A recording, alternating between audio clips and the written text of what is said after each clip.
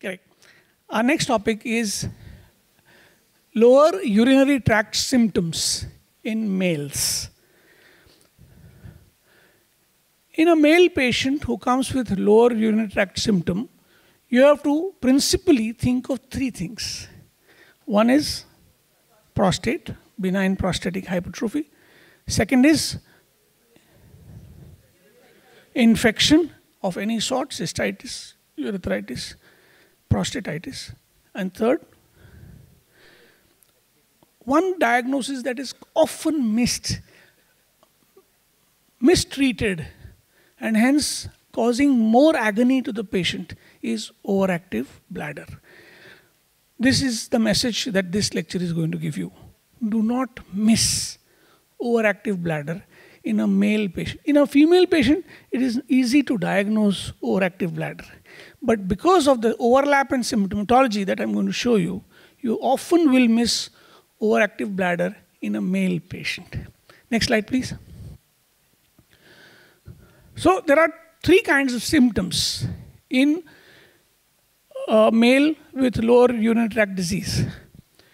One is obstructive symptom, meaning can't start, hesitate, hesitancy, weak stream and straining.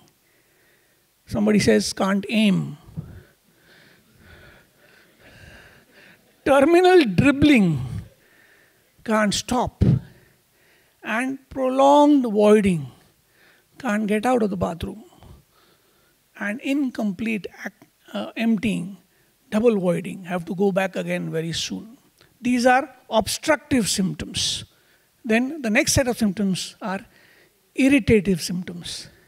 Need to go again and again, frequency. Need to go immediately, urgency. Need to wake up at night multiple times to go, nocturia. Sometimes, if I have to urgently go, I leak in my trousers, urge incontinence, and very small voided volumes each time. These are the two groups of symptoms in lower tract. The third group is, of course,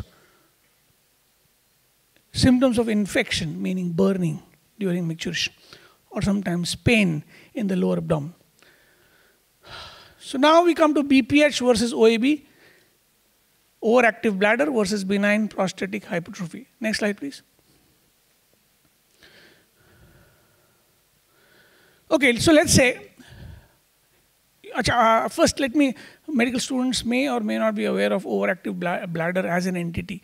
Overactive bladder basically is usually idiopathic disorder where at small volumes of the bladder fullness, the detrusor muscle starts contracting. Detrusor overactivity, usually without any reason, occurs in males and females both some studies say females have a greater incidence than males, but males have a, a very high incidence themselves. Can't start. Can it be overactive bladder? No. Can't wait. Urgency. Can it be overactive bladder? Yes.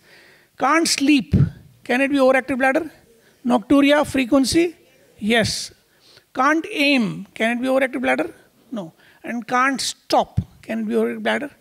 No. So you see that all five are prostatic symptoms of benign prostatic hypertrophy, but the can't wait and the can't sleep because of nocturia are the chief symptoms of overactive bladder.